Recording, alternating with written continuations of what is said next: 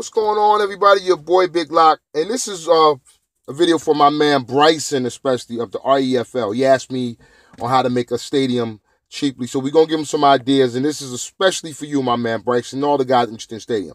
That's the old Miggle Stadium. One of the real cost-effective solutions, if you can find it and sometimes you can catch them on eBay or guys in the hobby may sell them, and that's what we really made to used to make our stadium. I gave one to Jamie, and then you have the option of going with guys like Reginald Rutledge that are higher price, but you get the exact stadium that you want. You know they do great work, and you can look those guys up. But I'm gonna try to give you some clues on how you do your own stadiums, and you basically have to become a builder. You have to become an engineer, but not in a complicated way. Like that's a you know that's a mock-up of blueprint where you can take a piece of the cardboard that you get right from the dollar store and prefab little areas and make the stadium sections that you want in the scale that you want. It's not really that hard. You just really have to do the mathematics to it. And you can find the cardboard right at the Hobby Lobby, right at the Dollar Tree and the dollar store, and they only cost a dollar. Maybe you spend 20 bucks and get a couple of them or as many as you need. And that's a more intricate plan, but a lot of these stadiums and the ones I'm going to show you here were made out of cardboard people that just took the time and effort and you know they're expert builders. And i wanted you guys to check a video up by my man charles van der broek on how to build a stadium. And i'm really trying to get in conversation with him. Again we had a great conversation this evening on building stadiums. He does some amazing stuff completely out of two millimeter and three millimeter cardboard.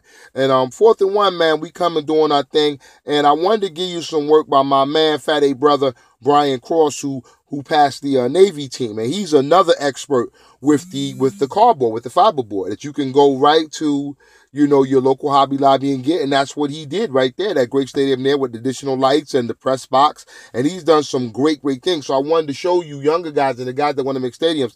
There is a do-it-yourself way but you do have to do a little study on the, what you're going to create. You know, Brian knows what he's doing when he makes the angles and when he bends and when he brings different aspects of how to make a real stadium. That's his Miami Viking Stadium right there. So Brian really knows what he's doing. Guys like Charles and guys like Jamie and guys like myself. I got some pics of my old stadium that I had up here just to keep you guys inspired. It's not that hard, and you can do things, you know, with stuff around the house and just really put it together along with the the cardboard, some tape, some Elmer's glue, and and be careful. You know, we don't want you kids using knives and razor cutters and, and box cutters and things like that. So ask your parents permission. See, that's how Brian used actual pics that he got off the photocopy and made his crowd. So it can be very easy and very, very cost effective. And that's what I have the pieces of my stadium I'm going to complete for the Fat 8 Pro. And this is when I made my first attempt at the stadium. And I made it out of a, a refrigerator box, a styrofoam in a refrigerator box combined with some of the white um, cardboard that Brian has advised me to use. So it's not that hard when you put your imagination to it and really put it in. These are old pics, but I'm just trying to really let you guys know, you know, the young guys, that you can do this. You know, you can really have the stadiums and the effect that you want. So Bryson, stay motivated. You know, you know, let me know if you need some tips. Jamie's here to help. I'm quite sure I can get some some things from Brian to help you out and make a little stadium for your new. I know you're excited about your new season coming up for the RFL. You know, we were proud of you.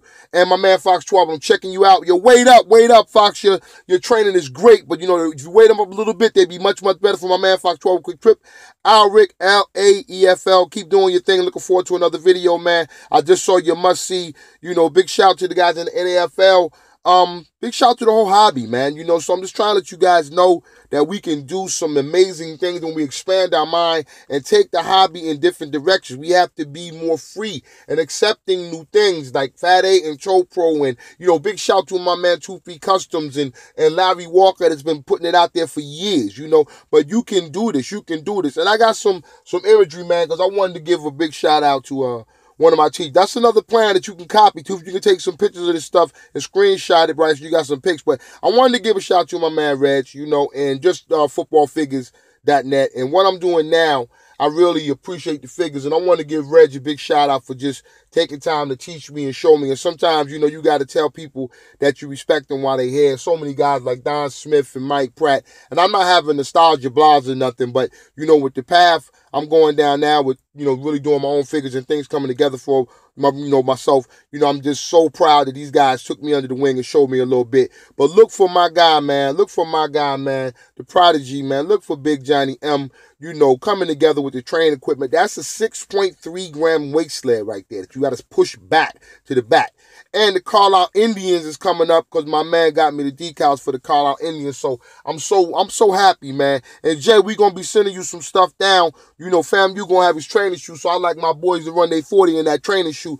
My man John helped me out and get my quarterbacks trained up so we can have some fourth and one, we can have some two feet, we can have some kickoff, we gonna have a lot of fat eight. I got to give a big shout out, man. Fourth and one has been so blessed. You know, we've been so blessed to come across a guy like John, the prodigy, man, with two feet custom, getting a little choked up. And you know that we got our finally got our 3D printer. Yeah, that's our 3D print right there, man. That's the figures that I was telling you about and pumping for and busting for and really busting my hump to get out here, man. And we got them now. Thanks to Form 3D, my man Brandon, who is the head designer of the fourth and one 3D team. And we got some guys that's helping us too. You know, Brooklyn 3D, Blue Ring still is in, in our camp. And we doing our thing. And that's the blacks of the original fig. But we got it mocked up now. You know, I'll be receiving one this week. And then we just gonna make the whole line right out of um right out of Form 3D, and we're gonna let y'all see the whole process. You know, I'm not gonna be stingy with anything. I'm gonna let y'all see. It's gonna be reasonably priced, and it's you know it's one of the best 3D scans on a figure ever done because of the smoothness, no lines, no chinks. We got the perfect program, and that's the group, man. Two feet, fourth and one, the fat eight and kickoff. That's us, and we coming with these 3D stadiums too. We gonna hit you in the head with a lot of stuff. So, like I said, hang with me. You will receive.